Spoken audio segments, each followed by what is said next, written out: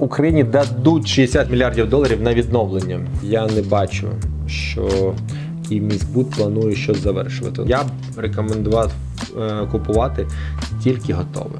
Ми живемо в війні. Ми повинні знаходити радість житті, робити приємне для ближнього. Це наша відповідальність.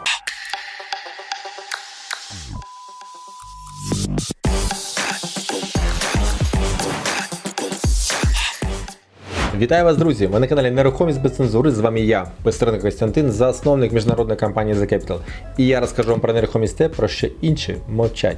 І сьогодні у нас без цензури News. Готові? Підпишіться на канал, поставте лайки, дзвіночки. Зробили і поїхали. І перша новина. Сьогодні у нас без цензури News. І перша новина Україні дадуть 60 мільярдів доларів на відновлення. М? Як ви вважаєте? Дадуть такі? Угорщина там нам не завадить. Сепаратісти угорські. Учасники конференції з відновлення України в Лондоні пообіцяли скерувати додаткові 60 мільярдів доларів на потреби України у відновленій відбудові. Про це йдеться в підсумковому документі конференції. До згаданої суми входять серед іншого кошти багаторічного фонду Європейського Союзу на суму до 50 мільярдів євро, 1,3 мільярда доларів, які пообіцяли виділити Сполучені Штати, і 3 мільярди доларів кредитних гарантій з боку Великої Британії. В свою чергу Швейцарія оголосила про додаткову підтримку у розмірі 1,5 мільярда швейцарських франків до 2027 року. А Франція анонсувала надання Україні ще 40 мільйонів євро допомоги для невідкладної відбудови у 2023 році. Міжвідомча платформа координації донорської допомоги Україні продовжить підтримувати узгодження зобов'язань донорів із пріоритетами раннього відновлення та реформ, зазначається в заяві. Крім того, майже 500 компаній з 42 країн світу з загальною вартістю активів понад 5,2 трильйонів доларів США. Та 21 сектору економіки вже підписали так званий український бізнес-компакт, взявши на себе зобов'язання підтримати відновлення та реконструкцію України.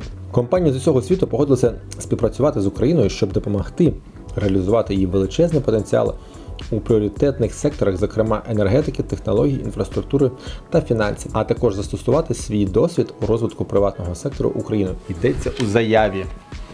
А, Ну, обіцянки. Обіцянки та танки у радості горі. Це дуже круто. 60 мільярдів. А, Це така кругленька сума, але та сума, якщо ви бачили, скільки потрібно для відновлення України, це то це десь там може 5, 4-5% від тої суми, яка нам буде е, потрібна після перемоги. А до неї ще потрібно, як кажуть, дожити, і ми повинні допомагати нашій армії. Не забуваємо постійно допомагаємо їй при будь-якій можливості. Друзі, ми заробляємо. Ми не на передовій, ми повинні допомагати, робити перепости, робити внески для того, щоб хлопцям на передовій було набагато легше, тому що щоб дожити до цих грошей потрібна тільки перемога. І іншого варіанту для нас, для нашої країни, в принципі, не існує. А це дуже чудовий план, дуже чудова новина, 60 мільярдів. Е, Я думаю, що на цьому і не зупиниться. Це вся допомога в її буде в рази більше. Але це все у нас буде у майбутньому. А ми повертаємося у сьогодення. А наступна новина у нас про те, що Ощадбанк почав видавати пільгову іпотеку на квартири у недобудовах. Державний Ощадбанк видав перший пільговий іпотечний кредит на придбання житла в об'єкті незавершеного будівництва в рамках програми «Є оселя, відсотки за якими частково покриватиме держава. Про це повідомляє прес-служба банку. Позику видана у місті Львові на придбання помешкання в житловому комплексі Екодім на надійній. Ціни на квартиру, в якому стартують від 1,5 мільйона гривень. В Ощаді нагадали, що раніше кредити за програмою «Є Аселя можна було отримати лише на придбання нерухомості лише на вторинному ринку або на первинному, якщо будинок вже введено в експлуатацію. Зараз учасники програми можуть розглядати придбання квартир, що будуються, що значно розширює пропозицію, зауважили у банку. Ну, опять же, ми не бачимо е, у ЄОСЕЛі, е, який буде загальний об'єм е, цих ну, доплат, як кажуть, да? тобто скільки держава планує таких кредитів підтримати, скільки вона буде компенсувати цих грошей, ну, ці, ці відсотки за цей кредит. Тому є дуже прикольна пропозиція. У нас також у агентстві вже було декілька угод, але ну. Дуже ну, непроста ця програма ЄОСЕЛЯ і зібрання документів. І, скажімо так, не, не дуже просто отримати ЄОСЕЛю, але можливість у всіх є. Якщо дуже потрібно, то напевно ви знайдете е, варіант для того, щоб зібрати всі необхідні документи для отримання і купити собі квартиру.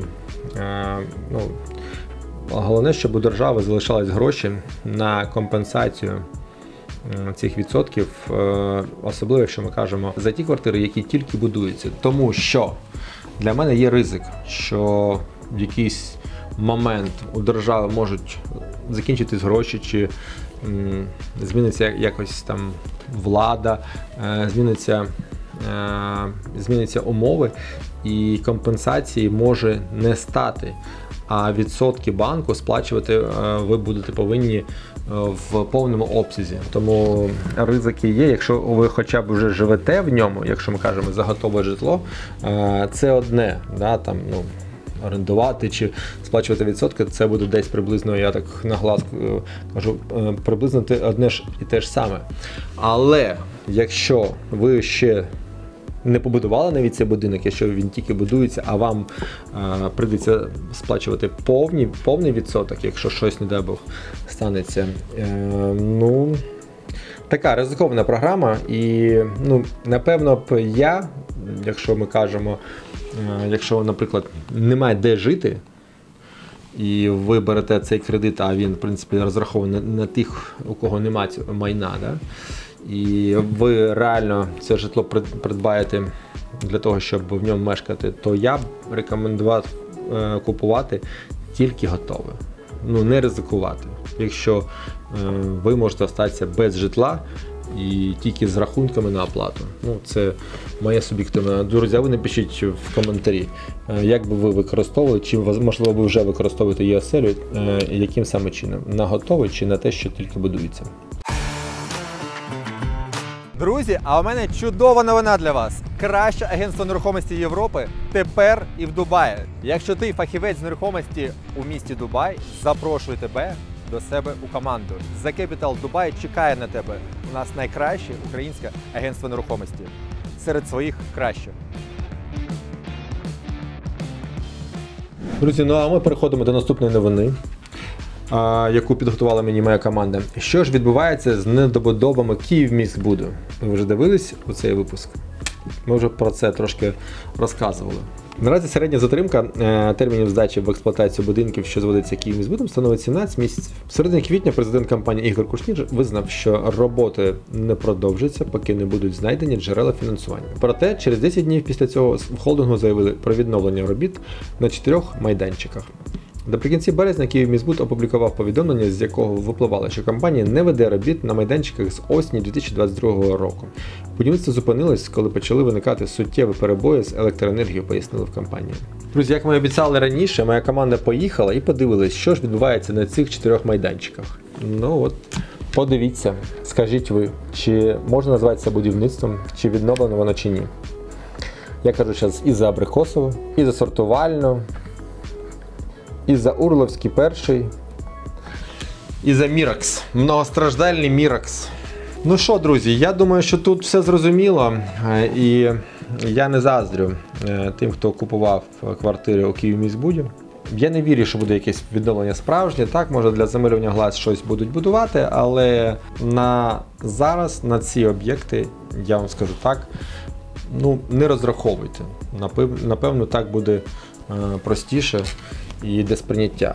Поки не, напевне, не закінчиться війна, поки ми не переможемо, я не бачу, що Київміськбуд планує щось завершувати. Ну і, і як ви розумієте, це ж е, те ж саме стосується і е, всіх, е, хто був інвестором Укрбуду. Там ситуація ж така ж сама, і ви розумієте, що ці об'єкти будуть взяті Київмізбудом, Київміськбудом, і там також все стоїть. Ну, друзі, така не сама приємна новина наприкінці, але е, я скажу так: ми повинні знаходити радість в житті. Я повністю не згоден з тим, що під час війни всі повинні тільки сидіти і плакати. Ми повинні знаходити, ми повинні радіти, ми повинні робити приємне для ближнього. е, Ми повинні робити наших дітей щасливими. Е, Це наша відповідальність. Я повністю не згоден. Я дивився, як е, захейтили Монатіка, коли він робив цей благодійний концерт. Еще раз говорю, где Монатик? Спрашиваю, где он? Це людина, яка в принципі вона е, робить е, свята, вона е, робить настрій людям. І так цькувати, ну, ми таким чином можемо привести тільки до одного. Всі заклади розважальні, всі хейтять. Ну так вони для цього і розважальні, щоб розважати людей. А якщо ми будемо їх хейтити, то просто люди будуть виїжджати за кордон і будуть відпочивати там, і будуть відвозити гроші там, тому що в Україні зараз введено як е, хейт на любу розвагу. А як ми е, плануємо е, справлятись е, з, з цим стресом? Скоро можна може і шуткувати вже буде якось непристойно. А скоро е, я дивлюся, і ми дійдемо до того, що і тут буде хейт. Військові нас захищають на передовій, щоб ми тут жили і е, ми е, заробляли гроші, ми допомагали їм. І нам потрібно також якось знімати стрес, щоб не поїхати кукухою. І е, щоб не виїжджати, відпочивати тільки за кордон і залишати гроші, коли ти відпочиваєш в Україні. Користуватись українськими кафе, слухати наших виконавців, танцювати так от під нашу музику. А як знімати ще це стрес? Любий психолог скаже, що це якраз інструменти для того, щоб зняти стрес. Ми живемо в війні. Ми привикли вже до крові, до трупів, до е, масових вбивств, до того, що прилетить ракета. Дивіться, як е, країна спокійно роз- розповідає, розмовляє про те, що зараз можуть атомну станцію можуть е, взірвати. Ну і вже всіх всіх спокійно. Вже ми настільки вже адаптувалися, але ну це ненормально.